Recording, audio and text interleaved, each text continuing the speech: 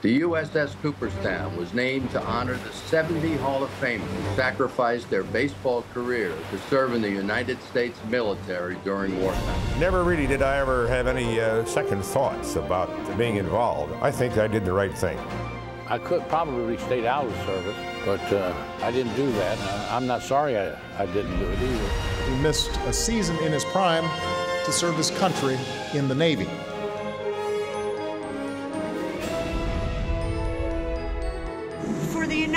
States of America, I christen thee Cooperstown. May God bless this ship and all who sail in her.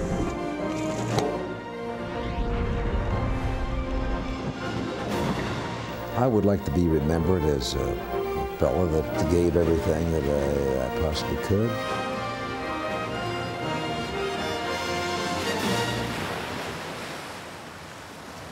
The USS Cooperstown commissioned there on Saturday. Uh, obviously, Joe Torre is going to be there. His brother fought in World War II. And Johnny Bench, of course, there too. He's our pal, Hall of Famer. His uh, dad, Ted Bench, fought in North Africa and Italy during World War II, and he says hello.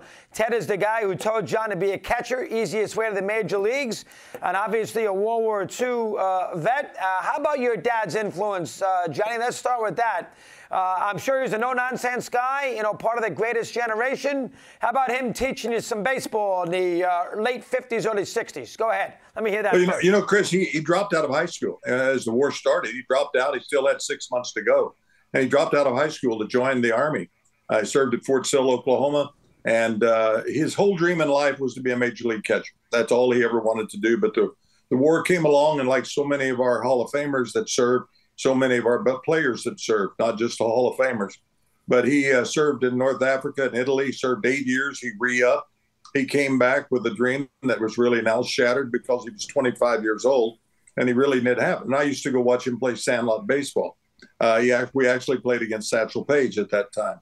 And it was amazing that I was able to face Satchel Paige in 1966 in the Carolina League. But Dad made contact, and that's all he ever cared about was the fact that I hit Satchel Paige, and that to him that was the biggest thing. But he wanted one of his sons to follow in his footsteps. I was fortunate enough to be found in that small town in Binger, Oklahoma, and uh, and uh, I guess the rest is history. I'm just glad the analytics and all the saber metrics and is that after Bret Saberhagen? No, uh, the Sabermetrics and uh, all the stuff wasn't around because I might not have been drafted. Uh, it's hard to think that a kid from a town of 660 people could ever make it to the major leagues.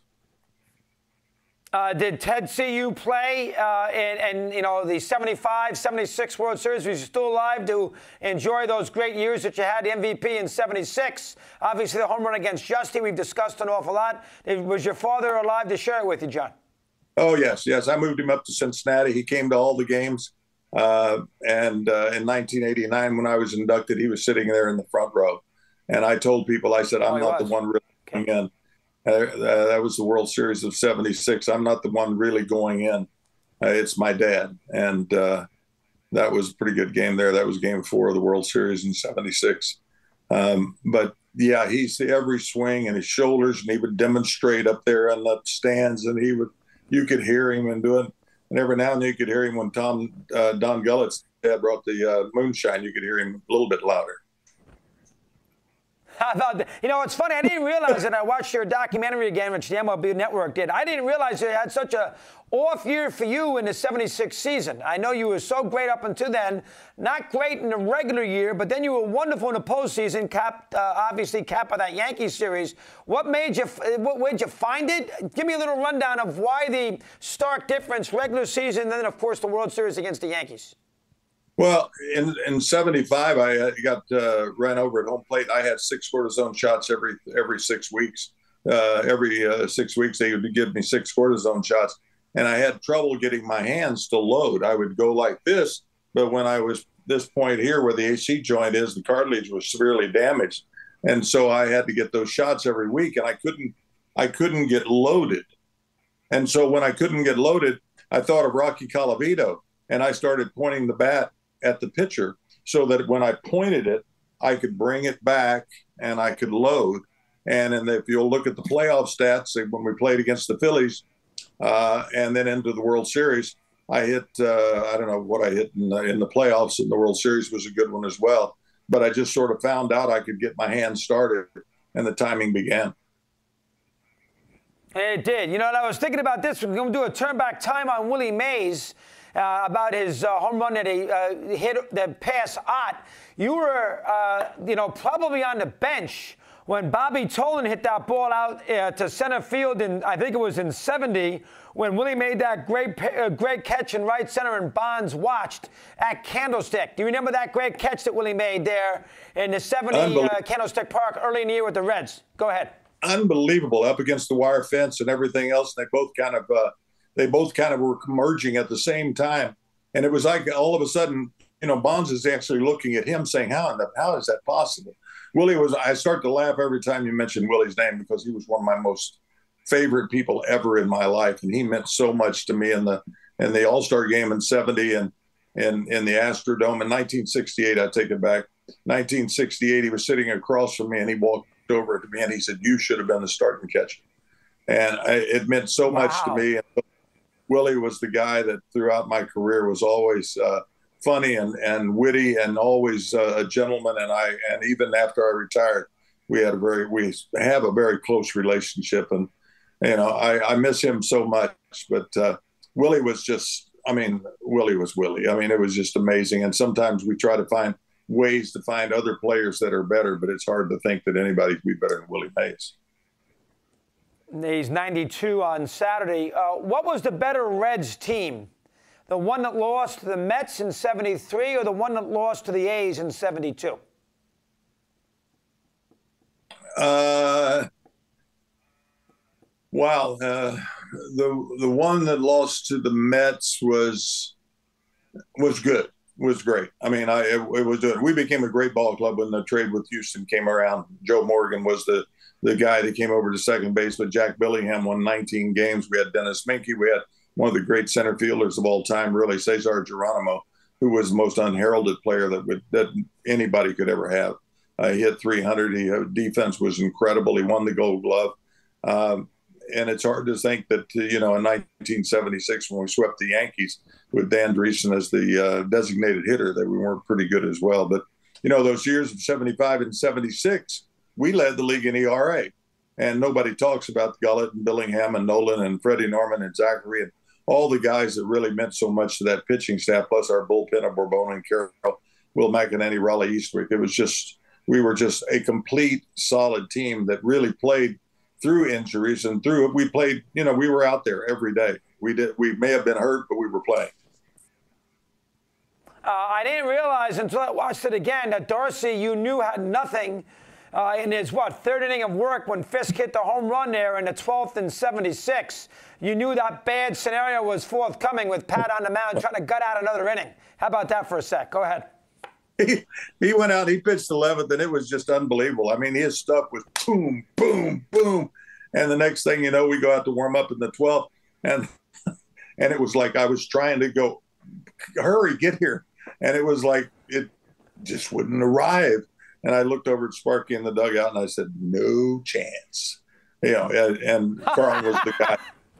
no, what were you going to do? You're going to say, hey, boy, he's really throwing good. And we all had was Clay Kirby was left and he was arm was broke basically. He couldn't come out of the pen. So it was just a matter of what happened. You knew it was coming, but you know that that that that thing had so many things. Bernie Carbo we were drafted in the first uh, in the same round, or he was in first, I was second in, in the Carol in 1965. We were roommates in Tampa. We were roommates in in the Carolina League. He was absolutely. We called him the Rocket. He had two pinch hit home runs in that series, and he said, and it was just like he had the worst swing ever, and then he had the greatest swing ever, and the greatest catch. I don't care where you want to go. Except I saw this guy the other day turn backwards with his glove like that. I think it was in the Angels and made the catch, whatever it was.